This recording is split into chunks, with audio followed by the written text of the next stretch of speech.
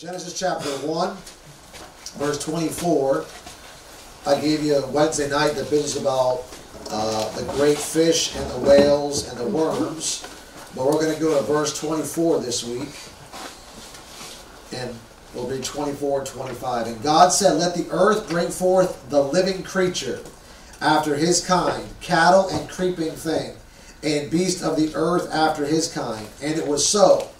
And God made the beasts of the earth after his kind, and cattle after their kind, and everything that creepeth upon the earth after his kind.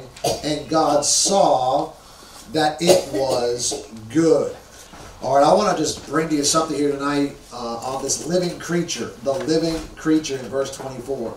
It says, And God said, Let the earth bring forth the living creature. And so I kind of want to uh, give you a sermon, I guess, or a study on this business about the living creature. Uh, because as a Christian, you're a new creature in Christ. Uh, you are a living creature now that you're saved. Uh, before you got saved, you were a dead creature. Amen. Uh, but when you got quickened, when you got born again, you became a living creature, and that's what's happening here in verse 24. Now, some say, and I don't, you know, I don't care how you look at it or not, uh, but between the between the fifth and the sixth day is when the living creature was made. Between the fifth and the sixth day. So if it was on the fifth day, it would have been when he made those animals in the water there. And it was on the sixth day, that's when God made man. And either one will fit. Either, either one will fit. Uh, because clearly the Lord made creature uh, creatures on uh, the fifth day. You'll get that um, there in verse 20. And his Bible says, Let the waters break forth abundantly the moving creature that hath life. You'll see that there. And, uh, and of course, man, we are creatures. We are creatures of habit, but we are creatures. And when you get born again, you become a new creature. 2 Corinthians chapter 5 and verse 17. Now here's an interesting Bible study part of this. The phrase living creature or creatures is found 23 times in your King James Bible. Now the living creature refers to all fish of the sea, the fowls in the heaven, the cattle, the beast, and the creeping things upon the earth. It also refers to mankind according to Genesis chapter 9. Go over there, Genesis chapter 9. That a living creature can refer to animals, but also humans. That's why I say it could be that God made these living creatures on the fifth day or the sixth day.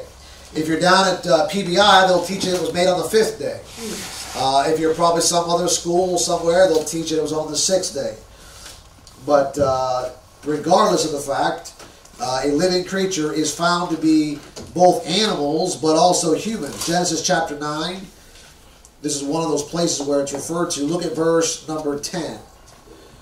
Coming off the ark, Genesis chapter 9 and verse number 10. And with every living creature that is with you, of the fowl, of the cattle, and of every beast of the earth with you, from all that go out of the ark to every beast of the earth. And I will establish uh, my covenant with you. Neither shall all flesh be cut off any more by the waters of a flood. Neither shall there any more be a flood to destroy the earth. And God said, This is the token of the covenant which I make between me and you and every living creature that is with you for perpetual generations. I do set my bow in the cloud, rainbow that is, and it shall be a token for a covenant between me and the earth. And uh, it shall come to pass when I bring a cloud over the earth that the bow that the bow shall be seen in the cloud. And I will remember my covenant which is between me and you and every living creature of all flesh. Notice that, all flesh. And the waters shall no more become a flood to destroy all flesh. And the bow shall be in the cloud. And I will look upon it that I may remember the everlasting covenant between God and every living creature of what? All flesh that is upon the earth. So whether you're a bird, whether you're a beast, whether you're a, a, a, sea monster in the sea, or a human being, all creatures here below are living creatures. Amen? Amen. And so when you're when you're thinking about living creatures, I don't want you to leave yourself out of it. It's just a lot of times people don't want to refer to themselves as something less than what they think they are. Yeah, yeah. If they think that they are a creature, then that somehow, somehow that somehow makes them less than human. And of course, in man's eyes, man is the pinnacle of evolution. You know. All of these creatures are represented by other living creatures. Look at Ezekiel chapter 1. All living creatures here on earth are represented by other living creatures. Ezekiel chapter number 1. And look at verse 20. Ezekiel 1:20. God patterns things on heaven, uh, things on earth after things in heaven. Okay? So look at Ezekiel chapter 1 and look at uh, verse 5. And also out of the midst thereof came the likeness of what? Four living. Four living creatures. And their appearance was the appearance, and this was their appearance. They had the likeness of a what? a. So they have a likeness of a man. Why? Because they're living creatures, and man's a living creature. Amen. All right? And every one of these living creatures had four faces, and every one had four wings. And their feet were straight feet, and the sole of their feet was like the sole of a calf's foot, and they sparkled like the color of burnished brass. Uh, come all the way down to verse number uh, 19. And when the living creatures went, the wheels went by them. And when the living creatures were lifted up from the earth, the wheels were lifted up. Whithersoever the Spirit was to go, they went. So what do living creatures have? They have a spirit. Yes. You see that? Guess what you have? A spirit. A spirit. You have a body, you have a soul, and you have a spirit. These living creatures are said to have um, spirits. Look at verse number uh, 10. As for the likeness of their faces, they four had the face of a man. There's your living creature. The face of a lion. There's your living creature. On the right side, and they had the face of an ox. There's your living creature. On the left side, they also had the face of an eagle. There's your living creature. All things represented by the living creatures of Genesis chapter 1, except one living creature is missing. What is it? It's the water one, the fish, right? So that aquatic living creature is left off the list. Possibly the cherubs had a fifth face, which would have been the faith of a sea creature, which is why Satan is called what? Leviathan. Leviathan. What is Leviathan? A great big fish, a sea monster, a sea creature. Okay, and so on the fifth day, God made the sea monster. God made the sea, the fish in the sea on the fifth day, which would be the fifth phase of that cherub. That's just you know some Jeff opinion, not necessarily doctrinal. What is, I believe, doctrinal is that we are living creatures Amen. and animals are living creatures, and we are all patterned after other living creatures, spirit beings, which are called cherubim. Cherubim. All right. Uh, you'll find this in Ezekiel chapter 1, Ezekiel chapter 3, and Ezekiel chapter 10. All those places will have that phrase, living creatures, making one of the 23 found in the King James Bible. Now go to uh, Romans chapter 8. We might come back to Ezekiel. Romans chapter 8. This is just a setup. Romans chapter 8. Now, again, before you got saved, you were a dead creature. The Bible says, uh, and ye hath he quickened who was dead trespasses and sins. Watch this here. Ready? How spiritual I am. Brother, I'm trying to preach. What are you doing? I got a face full of people looking at me like, what are you doing, preacher? You're interrupting. I'll let you go. I apologize. All right, well, I have you on speaker, so you just apologize to the whole church. How about that? I'm sorry, Liberty Bible Baptist. That's Pastor Dwayne Lords. Oh, good. Hey, Everybody say hi to you waving at you. So Hello. I'll get back. All right, brother. All right, bye. God bless. Love you, man. That's a blessing. Only the small church you can do that. Yeah. Can't do that Sunday morning. Well, listen. Everybody that is unsaved is a living creature in their in their body in their flesh, right? Yeah. But but something is wrong with them. An unsaved person, something is wrong with them. Yeah. They're, they're alive, bodily speaking. They are, they are alive in that they have a conscience. They are alive in that they can make decisions and they can choose Christ. So their spirit isn't completely dead and void of being able to make decisions, but they they are not where they're supposed to be yet. Because the fall of Adam has damned that our human race in that they're not saved, they're not walking with God or in fellowship with God, something is missing in their life. What's missing? The Spirit of God is missing in their Amen, life. amen, amen. So they are alive, but they're not living. They're alive, but they're not living. The Bible says, for me to live is Christ, and to die is gain. In order to be that living creature that God wants you to be, you got to be born again, which is why He says, and ye hath he quickened who were dead in trespasses and sins. Every unsaved person is dead in their relationship to God. Is that right? Yep. But after you got saved, God quickened you. God made you alive. So what are you? You're a living creature in Christ. Look at Romans chapter 8, verse 18. For I reckon that the sufferings of this present time are not worthy to be compared with the glory which shall be revealed in us.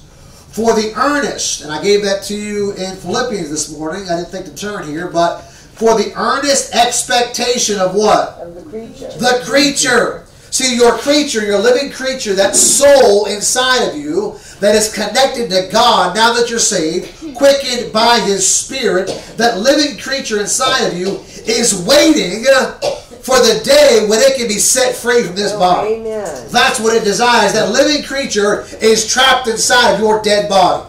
Now, your body's alive physically, but the flesh is of no value. It's of no use. It is a dead thing that God allows to carry him around in. It's like the Ark of the Covenant. Wow. The box is just wood, Right. right? Uh, the temple that they would break down and set up, just made of wood, shittim wood and gopher wood, and covered with badger skins, and covered with linen and, and scarlet and all that kind of stuff, and made of gold, yes, but it was just man-made things. What was on the inside was Yeah, God. Right. What was on the inside was God. And God allowed those things to carry him around. But the Bible says now he ain't made with things, uh, he ain't made, uh, or he ain't in, in things made with hands. Now he's inside uh, of us, but he still allows this dead corpse of a body hmm. To carry our living Savior around. It's a wild Yeah, thought. It really is. So we are a living creature on the inside. We're waiting for the day that God takes our soul and spirit back to Him. Verse 20. For the creature, that's the child of God, has been born again, the soul. The creature is made sub, was made subject. Watch that thing there. The creature was made subject to vanity, not willingly, but by reason of him who hath subjected the same in hope. You know why you don't do the things you should do? Is because you are not naturally subject to the things of God. Right. And sometimes when it comes to doing what's right, you're doing it's done to you against your will because the soul inside of you is convicting you and driving you to do it. Your flesh don't want to do it. So the job of the Christian is to try to get their flesh, the thing that we got to carry around with us, to act upon the nature of the soul that is belongs to God. You're trying to make this body do what it don't want to do. What is it? Be subject to what the soul is driving you to do, which is to serve God. And the living creature inside of you wants to serve God all the time. But the dead creature, the body, if you will, doesn't want to do it. So I have to break this corpse, this dead body, into subjection to that living creature that was made subject to this dead body. Hmm. It's a wild relationship. Sure. That's why it's hard for us to do the right thing all the time and to please God all the time. Nevertheless, we know faith is what pleases God. Amen. As children of God, we've been created a new creature in Christ until the day He takes us home. As such, we are living creatures created in the image of God and living in the body and person of Jesus Christ. The life of the new creature comes with a plan and a purpose according to the Word of God. Go back to Genesis. According to Genesis, Romans, Corinthians, and Ezekiel, all new creatures are responsible for how they live. Okay? The life of the new creature comes with a plan and a purpose according to the Word of God. And we're going to see that in just a second. That the living new creature comes from God or comes by God with a plan. You know, God didn't drop you into this world without a plan. Amen. God's got a plan for your life. God had a plan for you to get saved. God made a way for you to get saved. God had a plan and a will for you to get saved. If you're saved tonight, You partook of his plan. Amen. You got in the way with Jesus Christ Yes. and you got into the plan of God Amen. that began before the foundation of the world. Is that right? Yeah. Okay, so now that I'm saved, don't you believe that God has a plan for your life now that you're saved? Yes. That God has a purpose, a direction, a will for your life? You say, well, what's my plan? What's God's will? What's God's course? What's God's direction for my life? Well, there's some things I can't tell you what they are. Stay married or stay uh, uh, single your whole life. I couldn't tell you that for your, for sure. But there are some things that God gave every living creature when they were made. God formed them, fashioned them with a plan and a purpose. And you'll find that here in Genesis chapter 1. In fact, you'll find it in Ezekiel, Genesis, Corinthians, and Romans. Number 1, Genesis chapter 1, verse 22. And see if you can't pick out the pattern. That's what we're looking at as a pattern for the new creature. Genesis 1:22. And God blessed them, saying what? Be fruitful and multiply. And fill the waters and let the multi- let the fowl multiply in the earth. Look at verse 28. Let's see if there's not a similar command hmm. for the human creature as there was for the fish and fowl and beast and cattle creature. Ready? Verse 28. And God blessed them, and God said unto them, What? Be fruitful and multiply and replenish the earth and subdue it. Can I just say this? Here's God's plan for every living creature, including you. You ready? Yeah. It's not hard. Be fruitful, multiply. multiply, fill, or replenish. Hmm. That is the number one job based on the first mention of what God expects every living creature to do. Yeah. He blesses you with salvation, doesn't he? Yes, amen. He blessed you, and God blessed you with His Son, and God blessed you with His Spirit, and God blessed you with His Word, and God blessed you with His person, blessed you with the Bible, and blessed you upon blessings. Is that right? Yeah. So, what do I do with all of God's blessings He's put into my life? You know what I do? I become fruitful with it. Yeah, amen. I multiply and I fill or replenish depending upon what we're talking about. Well, what's the number one thing I got to be fruitful with? You ready? Galatians 5. The fruit of the Spirit is love, joy, peace, gentleness, meekness, faith, temperance, those nine things there. So the number one thing I got to be fruitful with is be fruitful with the fruit of the Spirit. I need in my life hmm. all nine characteristic traits of the Holy Spirit. Say, but I've only got seven or eight of them. Well, strive for the ninth. Amen. Because God didn't say only be fruitful to a certain point. Right. In fact, you don't see fruitful just simply means be full of fruit. Right. Isn't that what it means? So, what is our job? To be full of fruit. What kind of fruit? Love, Yeah. joy, all nine there in Galatians chapter 5. Um, then he says the second command is what? Multiply. What does multiply mean?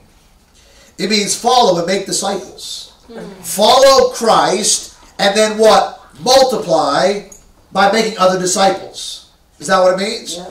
If, if I'm going to multiply, how does that work? I can't multiply myself, right? I'm already being fruitful by walking in the Spirit, being filled with the Spirit, and having the Spirit manifest His characteristic in my life. All nine, if, if the Lord allows, right? So what else do I have to do beyond just being fruitful? Multiply. How do I multiply? Make disciples. Yeah, amen. It is our responsibility to win others to Christ, making fruit that way as well, leading souls to Christ. All right, what do I do with the fruit that, that, that God has produced in my life as a result of leading others to Christ? Make disciples of them. Yeah, amen. Train them up Yeah. in the nurture and admonition of the Lord. Hey, what do you think God meant when He told Adam and Eve, be fruitful, multiply, and replenish the earth? What do you think He was talking about there? Was that talking about having children? Yeah, Is that right? thought, If, yeah. Right. If God says, "Hey, Adam and Eve, I want you to be fruitful," what does that mean? It means to have children. Right. So be fruitful, have children, multiply, more children. What does He want you? To, what do you want them to do with those children? Train them, Yes, amen. disciple them. Amen. Same thing when you lead someone to Christ. You know what we're supposed to do? Train them up. Yes, absolutely. How? In the nurture and admonition of the Lord. Amen. So follow and make disciples. Didn't Paul say, "Be followers of me, even as I am of Christ"? Yes. Didn't God make disciples? Yes. And then what did he tell his disciples to do? Go into all the world and preach the gospel. Amen. He said, Jerusalem, Judea, Samaria and the uttermost parts of the earth. What is that? That's being fruitful and multiplying. Amen. And for 2,000 years we've been doing that. Number three, didn't he say be filled with the Spirit? Mm-hmm. Ephesians 5, he says, be filled with the Spirit. In Ephesians 5, 17. So what does he say? He says, be fruitful and multiply. And then in verse 22, what does he say? Fill the waters and the seas. You know what you need to be? You need to be filled with the Spirit. Amen. The question comes, how do I get filled with the Spirit? Colossians 3.16. Let the word of Christ, what? Dwell in you richly with all wisdom. Amen. While Ephesians 5 says, be filled with the Spirit. Right. And then he says, speaking to yourselves how? In psalms and hymns and spiritual songs. One of the ways I know I'm filled with the Spirit is I love the right kind of music. Amen. Amen. Okay? But in Colossians 3.16, he don't say be filled with the Spirit. It's parallel passages, Ephesians 5 and Colossians 3. But in Colossians 3, it's there saying be filled with the Spirit. You know what he says? Let the word of Christ, what? Dwell in you. Let the word mm. of Christ dwell in you. So if you want to be filled with the Spirit, what do you have to be filled with? Spirit. Oh, the word. God's word, the word of God. That's exactly right. So my job is to number one, have the fruit of the Spirit. Number two, follow Christ, make disciples. Number three, be filled with the Spirit. But in, Gal- but in Genesis chapter 1, verse 28, he didn't say fill, did he? What does he say? It's a different word. They don't mean the same thing. Be fruitful and multiply in what? Replenish. Replenish. In fact, plenish is a word. If you go back and look at look at old English, plenish was a word. Oh. Now it's not a word that we use anymore, but plenish used to be a word in the English language, and plenish meant to fill. So replenish means to what? To refill. You know why? Sometimes you get dry. Amen. You know why you want to come to church? Because you get dry. Right? You might get filled up on Sunday, but by the time you get to next Sunday, what do you need? A replenishing, a refilling. And sometimes you need Wednesday in between that to kind of get you over the hump to stay filled. Is that right? So what does it mean to replenish? It means to restore a fallen brother or sister in Christ. Or it means to have your walk with God restored if you're running a little dry. Look at Genesis chapter 9. That's the first command for living creatures. Multiply, be fruitful, fill, and replenish. That's every Christian's job. Every Christian's job is is all of those, but sometimes you got to focus more on one thing before you get to the other.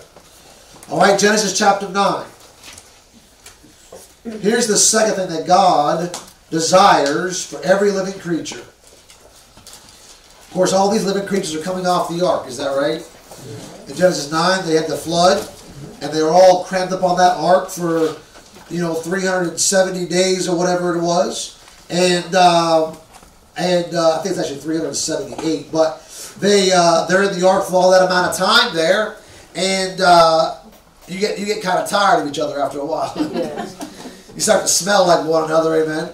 So God says, you know what? You, you got to get off this ark, but I got some some rules for you. I got a plan for you that I want you to carry out when you get off the ark. So what is the plan? Look at Genesis chapter 9. And when instead of reading the whole thing, he says, because we already read it, he says, uh, verse 11, he says, I will establish my what? Covenant Covenant. Look at verse 12. And God said, This is the token of the what? of the covenant. Covenant. Verse 13, I do set my bow in the cloud, and it shall be for a token of a what? Covenant. Verse 15, and I will re- and I will remember my what? Which is between me and you, and every living creature of all flesh. Look at verse 16. And the bow shall be in the cloud, and I will look upon it, that I may, look at the word, remember. Remember what? The everlasting covenant, right? Look at verse 17. And God said to Noah, This is the token of the what? Of the covenant. So you know what the, the second thing is that every living creature needs to be aware of by way of God's plan for their life? Be mindful of God's promises. Amen. Number one, God wants you to be multiply. God wants you to multiply. God wants you to be filled. God wants you to re replenish. God wants you to help restore other brothers and sisters to Christ. You yourself being replenished day by day. But beyond that, God wants you to be mindful of His promises. Now, I know that Noah's promise is different than our promise. I understand that in the sense that he's not talking about Noah's salvation here. I understand that. Nevertheless, what you see is that God made an everlasting covenant with Noah. And I don't know about you, but I don't know of any other worldwide floods like Noah's flood. Any of y'all ever heard of one? Mm-hmm. Never. They don't even believe the one that took place the first time. Yeah, yeah. But God told Noah, listen, Noah, I'm going to make a covenant with you, and I will remember this covenant. Well, why was God saying, I'm going to remember? Because you know what man is prone to do? Forget. Yeah. The living creature is prone to forget the promises that God has made to him. Mm-hmm. But as a Christian, as a living creature in the New Testament that was made in Christ's blood, can I tell you this? He's made a covenant with you or a promise with you that he will not break. Amen. Any more that God will, would break his covenant with Abraham and Isaac or Jacob, any more that God would break his covenant with, uh, with David, or that God would break his covenant with Noah, or that God would break his covenant with the future nation of Israel. Can I just tell you this? God will not break his promises with you. Amen. So, what do you need to be as a Christian? Mindful of his promises. What are some of the promises that God has made? Look at uh, Titus chapter 1. Titus chapter 1. It's very easy to become forgetful. Yes. How long do you think it was between the time that Noah got off the ark and then Noah got drunk on wine? I don't know. I really don't know. Maybe the answer's there. I don't know. But it shows you that even some of the greatest experience, would you say there would be a greater experience in Noah's life the day that God saved him from drowning and his family? You know what I mean? Like, a hundred years you're building a boat as large as it was. And you get to see the thing completed, but it wasn't worth building unless the rains began to fall. Right. And unless the waters began to rise, and unless God did do what he said he was going to do, which was drown out. Otherwise, Noah would look foolish. Yes. And God would look foolish, wouldn't he? So, would you probably say there wasn't a greater day in Noah's life than the day the Lord closed the door on the ark and sent him off on a journey that lasted as long as it lasted, and they were in the ark as long as it lasted? And wouldn't you think if you went through that, you might never forget? But I'm going to tell you that you've been in Christ longer, possibly, than they were in the ark. They were in the ark about a year and a month or so, two months, something like that. Most of y'all have been saved longer than that. Yeah. Is that right? Mm-hmm. Yeah. You've been in the ark. You've been in Christ longer than they were in the ark. What's our reason for forgetting Yeah, where we are? You know, mm-hmm. We get on Noah for getting drunk, but how many Christians? yeah. Yeah. Do you see what I'm saying? Yeah. And it's like that. It's been like that for a long time. It was like that with, with Jesus and his disciples. Mm-hmm. He told them, here's what you're going to do. Yep. They're like, we would never do that. Oh, yeah. And they ended up doing it. They saw the miracles. They saw the, you know, they say, well, if only Jesus would show me his. Listen, God has done all that and more. Yeah. Amen. And we are not faithful to remember Yeah. all that he's done. We'd like to think we would never go back and do the things that we said we would no longer do because of how much God has blessed us and done good in our life, and yet we sometimes find ourselves back where we were. You know how you're going to get out of that if you fall back there? Be mindful. Yeah. Remember what the Word of God has promised. Titus chapter 1, look at verse number 2. Titus 1 2. He says, In hope of eternal life, which God, what? That- That cannot lie, promised before the world began.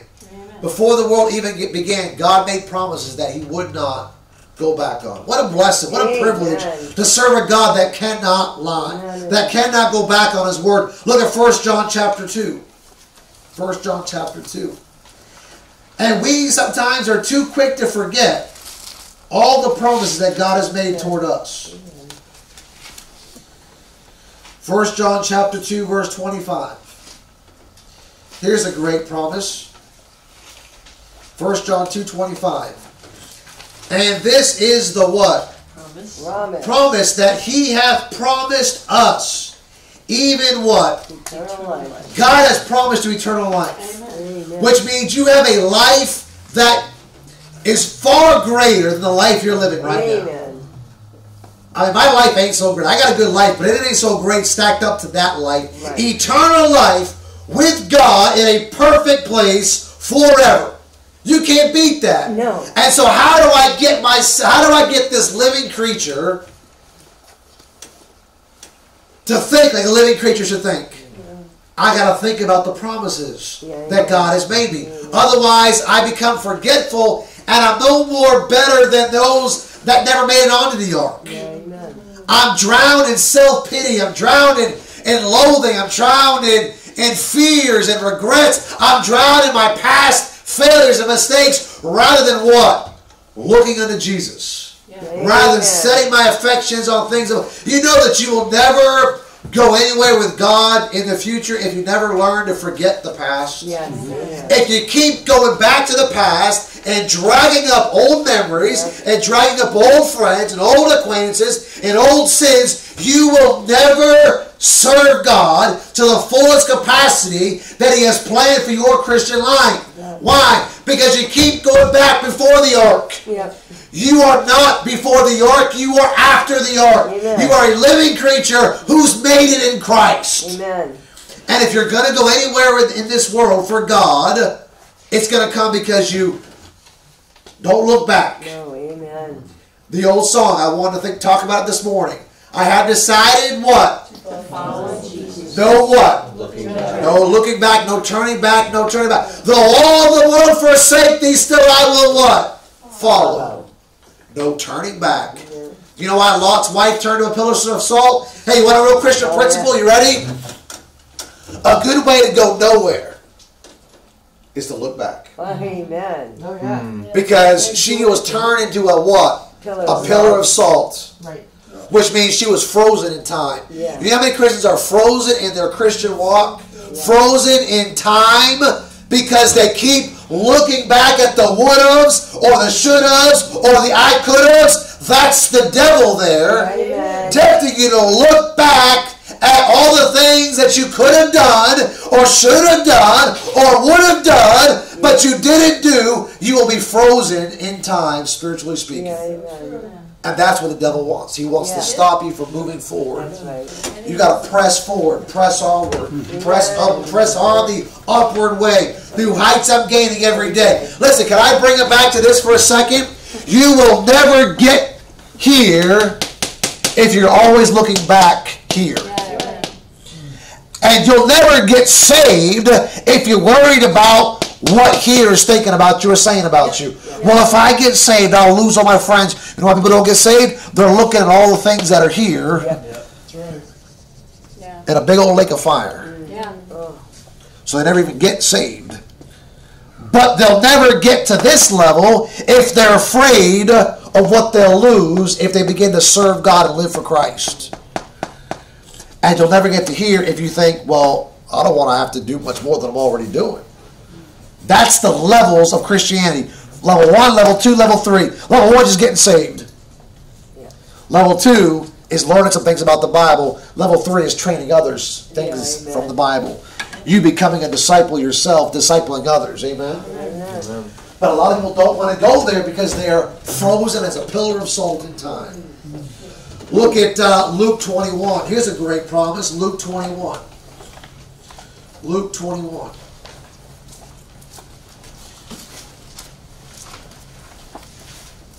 Luke 21, verse 33. Sometimes I don't mean to dovetail these things, but the Lord knows what He's doing. Luke uh, 21, 33. Heaven and earth shall pass away. That's like Noah's flood, right? shall pass away. But my what? My words. Words shall not pass away. You know what that is? That's a promise. Amen. That's a, dare I say, covenant that God has made to believers pertaining to his word. My words will not pass away. In other words, that rainbow is an everlasting covenant. This book is an everlasting covenant Amen. that he cannot go back on. Amen. What a blessing that we have. And uh, look at Second Peter real quick. Second Peter chapter 3. I won't take you through all the promises, just these. Second Peter 3. Then I'll give you the last one, then we'll go home for the day. I, I wish I could get Christians to understand they will never go anywhere in life if they're constantly hanging on to the past. Yeah, amen. They just won't go anywhere. They're, they're stuck in sand. They're stuck in Yeah. time. And that's not the way that God, God says, follow me Yeah. and I will make you fishers of men. See, if you don't ever take the first step of following him, you can't take the next step of what? Making you into a fisher of other men. Those are the stages of growth in the Christian life. These are the things that God desires for living creatures. Saved individuals. Uh, 2 Peter 3.13, the Bible says this. 2 Peter 3.13, Nevertheless, we, according to what? Look for what? New New heavens and new earth. Is that like heaven and earth shall pass away? Yes. But my words shall never pass away? Isn't that like Noah's ark? Hey, the world was drowned out in the flood, but I'm going to take you on to a better and new world. Ain't that right? Yes. He says, we're going to look for a new heavens and a new earth where dwell righteousness. Can I tell you what you have coming to you one day? A new oh, place. Amen. A new home in glory. Amen. Where your name is written down. And what will you find there? It is the promise of eternal righteousness. No sorrow, no suffering, no sickness, Amen. no pain. Hey, look at that. No looking back. No looking back. No looking back. There is no looking back. When you get out of this world, in Galatians 1, He's having delivered us from this present evil world. Uh, 1 Thessalonians 4, comfort one another by these words. When we ascend into heaven with a shout, with the voice of God, the archangel, and the trumpet of God shall sound, and we shed this mortal body, and we are quickened into fashion after His image and His likeness, and glorified His presence. Hey, don't you know that you'll not have one regret for when you get saved? Yes. Amen. At the judgment seat of Christ, you'll have no regrets for serving God. For, for going the distance, for going the extra mile, for going the second mile, for pushing through hard times, for pushing through difficult times, for not giving up, for not quitting, for standing your ground, for taking a stand, for holding fast till He comes. Don't you know you will not have one second of regret Amen. at the judgment seat of Christ. Why? It's a promise of eternal righteousness. No more of this political nonsense. Oh. No more of this, you know, uh, uh, uh, you know, modern approach to life. No, man, it's going to be a sweet time in heaven. Amen. Go to Ezekiel chapter one. Let me give you the last one. I can start to preach here. Ezekiel chapter one. I mean, you're a living creature, and God made living creatures, and God made living creatures with a plan. He had a purpose for their life, and God has a plan, and He has a purpose for your life. Now, where you go with that is totally up to you. Right. We are talking to the church this morning. You can't make anybody do anything. And if you did, it wouldn't last in their life. You have to make the decision to go with God. Amen. And you will only go as far as you will go so long as you stay in control of your life. That's. But if you'll surrender and turn yourself over to God and say, Not my will, but I will follow you, and you can make out of me whatever you want, then you will go places in your Christian life. Amen. And you'll be hated along the way for it. That's right. But at least you know it's where God wants. That's His plan. Multiply, fruitfulness, fill, replenish, be mindful. But lastly, Ezekiel chapter 1, verse 20. Whithersoever the Spirit was to go, they what? Went. They went. Thither was their spirit to go. Um, and the wheels were lifted up over against them, for the spirit of the living creature was in the wheels. I have no idea what that means, I- but I know it means something good. Amen. Verse 21. When those went, the wheels, I guess, these went, the living creatures. And when those stood, these stood. And when those, man, this gets exciting. And when those were lifted up from the earth, the wheels were lifted up over against them. For the spirit of the living creature was what? Was in In the wheels. Uh, the other day, Michael was running the bases. I just thought about this, buddy. The other day, Michael was running the bases, and he ran the bases in uh, 14 seconds all the way around from home back to home. And they gave him a nickname. They called him Wheels. Oh, They called him Wheels with a Z on the end. Yay. Real cool. Wheels. I love it. Hey, you know what Christians are supposed to be? Wheels. Keep on moving. Yeah. Keep on moving. Christians are supposed to be wheels. We ain't supposed to be stuck in the mud. Uh, Maris was called a gazelle because she's light of foot and she ran. She made it in 12 seconds. But uh, but yeah, no, she, competition's good. Yeah. Well, listen, wheels. What is it? It's motivation. It's moving. It's not being in a rut. It's not standing still. Didn't he say, "Hey, ye men of Galilee, why stand ye here gazing?" Yeah. Then the Lord says, I must be about my Father's business. Hey, as Christians, we are to be wheels in God's automobile. Hallelujah, preacher! Whoa! That's what we're supposed to be. We are supposed to be the thing that keeps this whole thing moving. Yeah. There's an old saying down south, let the church what? Roll on. Oh, amen. Though the world forsake us, though the world turn their back on us, though our own brothers and sisters turn their back on us, let the church roll on. What does that say? We're going to keep going. We're going to keep moving. We're going to keep rolling for Christ. Amen.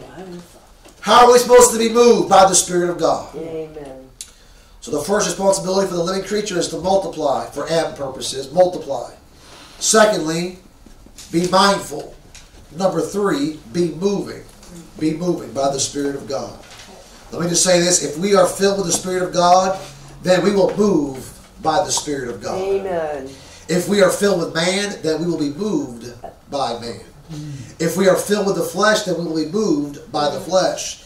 What will, quickly, what will being filled with the Spirit look like? Look at verse 13. As for the likeness of the living creatures, their appearance was like burning coals of fire, and like the appearance of what? Lamps. You know what being filled with the Spirit will cause? It'll cause your light to shine mm. Amen. light to shine.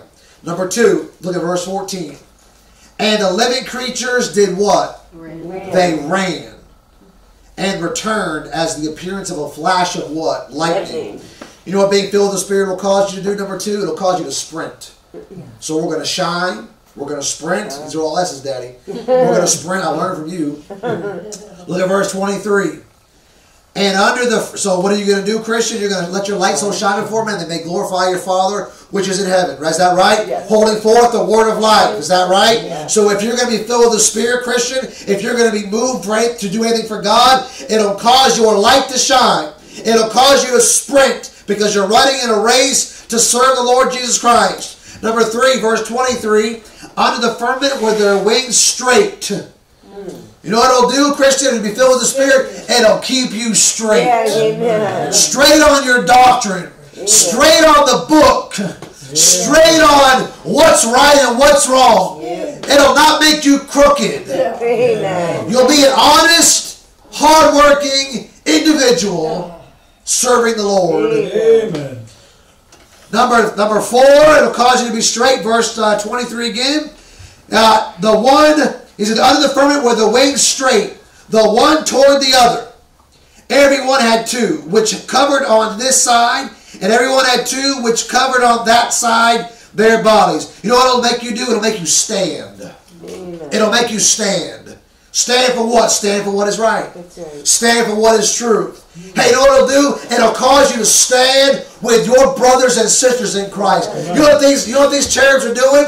They're standing, every one of them had two, and they're standing, and they're standing what? The one toward the other. You'll stand, you'll be straight, you'll be steadfast, unmovable, always abounding in the work of the Lord. And know what you're going to do? You're going to have the same spirit one toward another. Amen. Look at that thing there. It says they stood st- standing straight, and the one toward the other. We're not going to be divided. Amen. We're not going to be against each other. Amen. We're not going to pick fights with each other. Amen. We're not going to belittle or besmirch or put down one another. We're not going to thumb up our nose. We're not going to think ourselves to be something special or because we have standards that somebody else doesn't have, we are somehow superior in intellect, intelligence, or spirituality just to cause a rift or divide the body of Christ. Amen. We're not going to do that. Amen. If you're filled with the Spirit, you won't do that. I don't know what number I'm on. I've, I've lost track. Look at chapter 3. Chapter 3. I'm almost done, I promise. Chapter 3. I think this is like the sixth one. Verse 13, Ezekiel 3.13. What will, what will be being filled with the Spirit cause you to do? Ezekiel 3.13. This really fits with this morning's sermon. Ezekiel 3.13. I heard also the noise of the wings of the living creatures. Look at this. That touch one another. Mm. That's not in my notes, but you know what you're going to do? You're going to touch one. Oh, sensitive. amen. You'll be sensitive. Amen. You'll be sensitive. You'll be touched by the feeling of others' infirmities. Amen. You know what it'll cause you to do? It'll cause you to pray. Mm-hmm. Yeah. Listen, you know what we're trying to, you know what we're trying to do? I'm trying to foster in you on Sunday nights is how to pray for one another. Amen. I don't care about I don't care about praying for the politics and pray for the world and pray for what's going on out there. Prayer time is a time to pray for one another. Amen. You want to pray for the politics, you want to pray for the president, do that on your own time. When you're in here praying, you pray for one another. You get a hold of each other. You get you take each other by the hand, by the knee, by the back, uh, in, in, in- thoughtful uh, prayer as you pray for one another. Why? Because that's what matters. Amen. Be sensitive. If you're filled with the Holy Spirit, you'll be sensitive to each other's needs. I don't know why I said all that because that wasn't in the notes, but there you go. Uh, what verse am I even on? 13? Thirteen. Chapter 3? Yep. I heard also the noise of living creatures that touch one another. You should be touched by the feeling of others' infirmities, and the noise of the wheels over against them, and a noise of a great rushing. You know what you're going to do? You're going to sound like a Christian. You're going to sound like God. You know what you do? You're going to speak out, as I gave you this morning. You're going to hear the Word of God. You're going to be taught the Word of God. You're going to be fed the Word of God. And it's going to come out of your mouth. You're going to testify. You're going to preach. You're going to praise. You're going to give thanks. You're going to pray for one another. You are going to open your mouth Yes. For God if you're filled with the Spirit because you have something to say that honors and pleases God. Listen, every time we open our mouths, it should not be to talk about what the world is doing or what the politics are doing or what this church is doing or that church is doing. I know it creeps in. I know it comes in. I know there's a time and a place for it. But more often than not, we need to be saying things that honor and glorify and exhort God and Amen. exhort one another. Amen. That's what we need. We need to sound like Christians. Amen. Amen. Speak the word. Then lastly, Ezekiel chapter 10. There's three places, three chapters in Ezekiel about the living creatures. Chapter 1, chapter 3, and chapter 10. Body, soul, spirit, Father, Son, Holy Ghost. Oh, Ezekiel chapter 10, verse 20. Now, I like this. Watch this now. This is the living creature that I saw under the God of Israel by the river Chebar. And I knew that they were the cherubims. You know, Christian, if you're filled with the Spirit, people are going to know who you are. Oh, amen. You ain't got to worry about wearing the t shirt, Amen. wearing the bumper sticker, Yeah. And showing off who you are. Let everybody know who you are. Amen. Listen, you just be filled with the Holy Spirit. You say things that are timely. You say things that are fitting. You say things that are touching. People will know who you are. Yes. But you know the reason why people don't behave that way is the last point.